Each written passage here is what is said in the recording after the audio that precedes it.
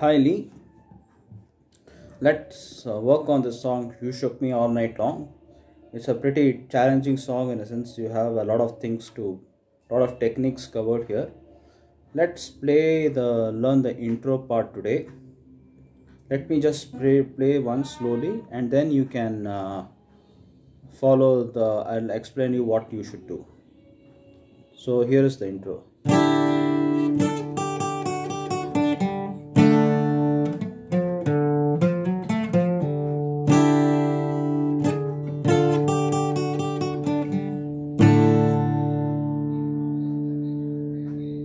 So this is the intro part.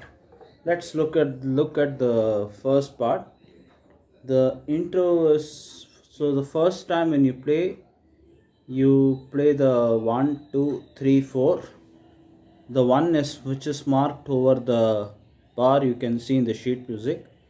Second time you play 1 and 2 skip 3 and 4 and go to the 2 with which is marked with d5 so that's the intro. So let's look this in detail.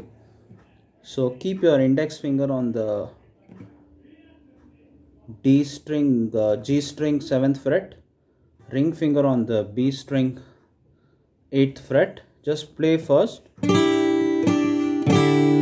Just strum those three chords three those three strings. That is d e d b and g and b. Then you have without disturbing your middle finger just keep the that is the in the in the sheet in the tabs it is marked as 10 on the 10 and 7 that is 10 on the b string and 7 on the g string. So the first bar is like this.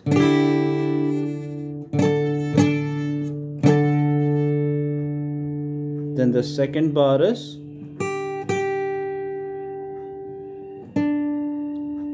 so so this is 8 8b two times 7g one time back to 8b 7b 7g then open d string and then you play this. That is sorry you have this d like kind of a thing with the index finger then play the bend and play the 3D then 3 hammer on on 4 on the D string.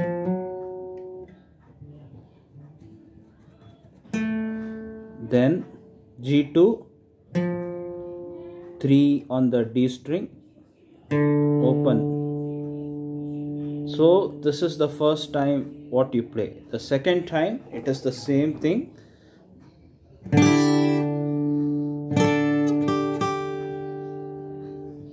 So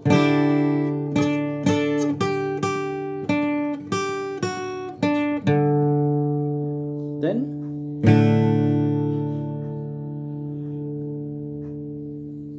so this is the intro part for what today's class just practice the intro part nicely.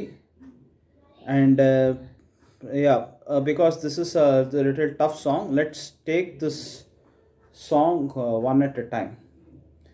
And uh, following this i'll also give you some scales to practice. Yeah. Thank you